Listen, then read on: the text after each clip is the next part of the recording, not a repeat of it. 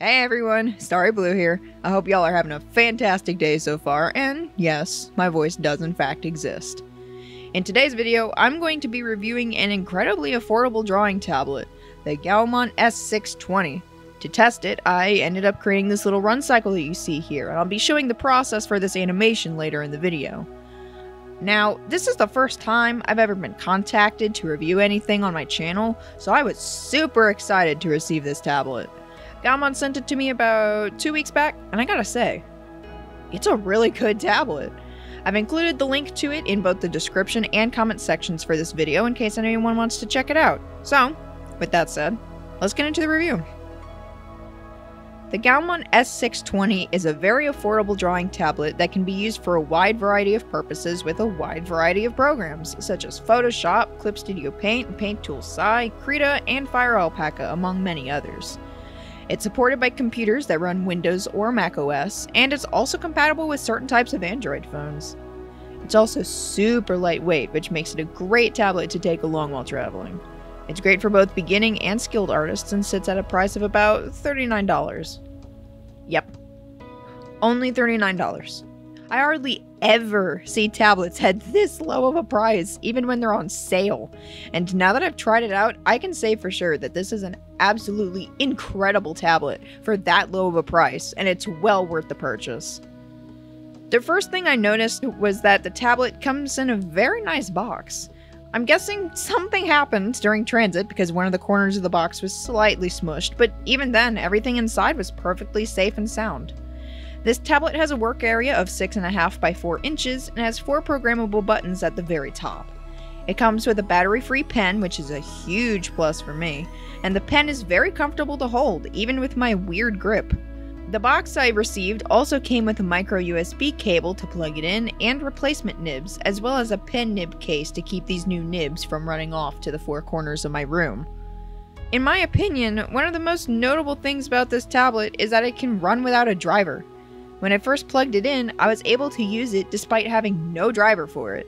I did end up downloading it so that I could adjust the pen pressure to my preferences, as well as to set the monitor that I wanted to work on, but it really does work without the driver. Once I had it set up, I immediately started to make test doodles on a new canvas.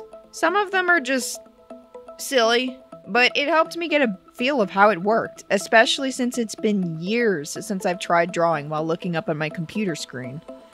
This tablet recognizes 8,192 levels of pen pressure, which is the same as my Wacom Cintiq 16 and 8 times more than my old Intuos Comic.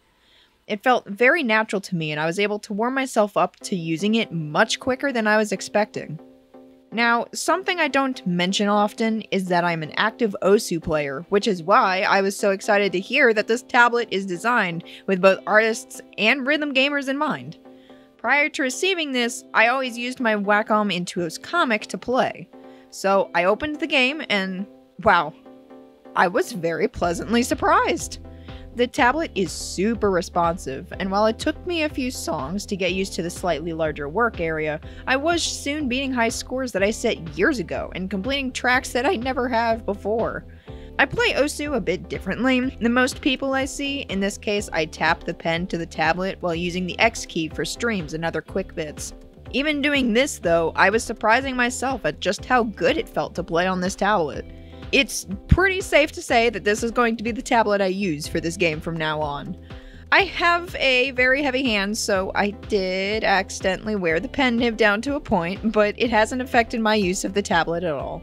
It's a good thing that I have extra nibs. But eventually I had to pull myself away from the circles and finish the other part of this review. The animation! As I said before, I do all of my art and animation on my Cintiq 16, so I'm very used to looking down at a screen while drawing. Since this type of drawing was going to be something I hadn't done for a good long while, I decided to make something simple. The character in this animation is Eli, a cat sona that I made for myself recently. I know how to quickly animate cats, and I know how to quickly animate run cycles, so I went with that to test everything out. The tablet was incredibly responsive, and the pen pressure sensitivity I had it set to felt very natural to draw with. I may or may not have made the mistake of trying to animate a striped pattern in a few days, but it still worked out in the end, and I'm honestly quite happy with the result.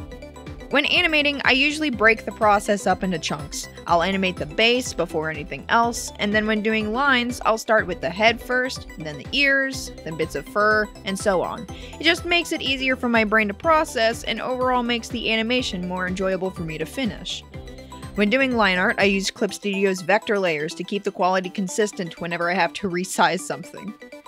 Something that I really enjoyed about using this tablet is how well the pen pressure translated over when drawing because I was able to make very noticeable and clean variations in my line weight with ease. It was definitely a pleasant surprise to have pen pressure similar to my usual screen tablet on a much smaller tablet, and it made the overall animation process very fun. So, all this being said, what are my final thoughts on the Gaomon S620?